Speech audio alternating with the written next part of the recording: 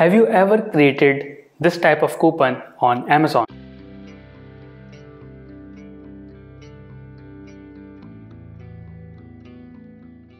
I call it this coupon type as a PDP coupon, which is Product Display Page Coupon.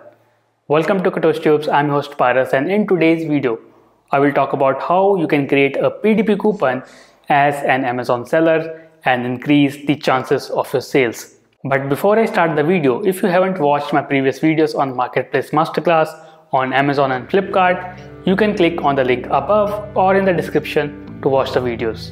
So now let me get started with today's video.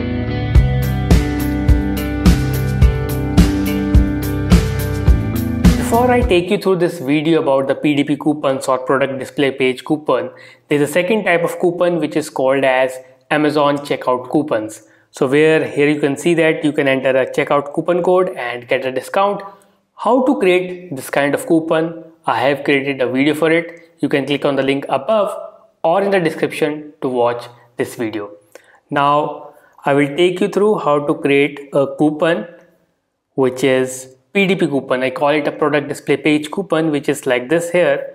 You can see this PDP page which is product display page and this is right here we will create this kind of coupon.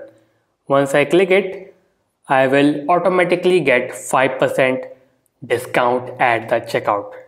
So we are going to create such coupon code for the users on our PDP page. So let's go to Amazon Seller Central. So this is my Seller Central. In here you need to go to this tab which is advertising. Let me zoom it. And inside that you need to go to this coupons. Click on the coupons and once you click it you will see here the option of create your first coupon. Click on it. So now we are going to create this type of coupon which is right here using the backend of seller central.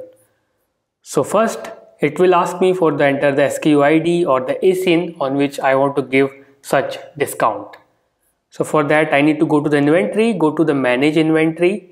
So best is to enter your SKU code which is stock keeping unit code. I will show you where it is. So this must be your listing right here. So SKU written right over here. So inside the SKU choose the SKU in which you want to give the discount. Let's say I choose this SKU which is let me copy it. So once I copy it I go back I put enter and go.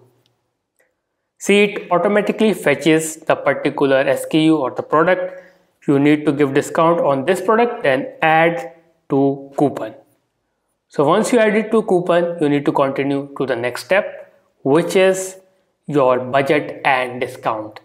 You need to choose how many money off or percentage off you want to give on this particular product. So let me see, I want to give money off or let's say percent off, let's say 5%. So I have entered the 5% off for this particular coupon. And second question, it asked me, do you want to limit the redemption of a coupon to one per customer? So let me write it no, keep it as no to promote it better so that it will become more attractive for repeat purchase. And my budget is, let's say, 1000 rupees or let's say 10,000 rupees. It may be in dollars, it may be in euros depending upon the country you are in. So I am choosing it as 10,000 in Indian rupees right here for example and it says coupon budget are not hard limits which means you need to keep in mind that your budget or the discount may overshoot this particular limit. So keep on checking your offer which you are running using this mode of promotion. Okay so I've done it. Now continue to next step. So it asked me to give some title to it. Okay so let me check on the title guidelines. So you need to read the guidelines. So the best example you can see here save 50% on hand sanitizers. So I can write it as save 5% on men's shirt that's acceptable. And target customers are all customer. You can choose prime customers or the prime members or all customers depending upon what type of promotion you want to run. And start date and end date. Choose the start date let's say 20th end date let's say 31st so once I do it I continue to the next step. And here it give me a snapshot of whatever entries that I have done. Review it out check the SKU is perfect.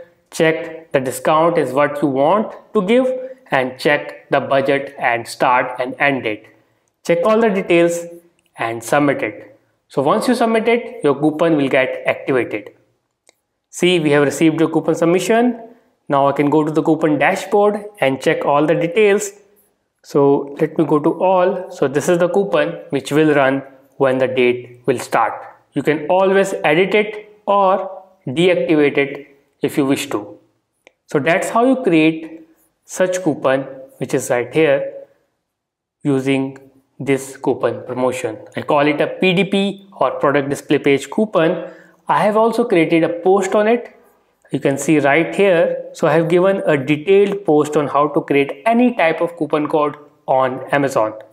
Be it a PDP coupon or I call it as product display page coupon or checkout coupon which I call it as promotions so every details is mentioned in this post you can click on the link in the description to check out this post as well and please do check out my remaining videos you can see on the screen to get more information about how to be a successful Amazon seller.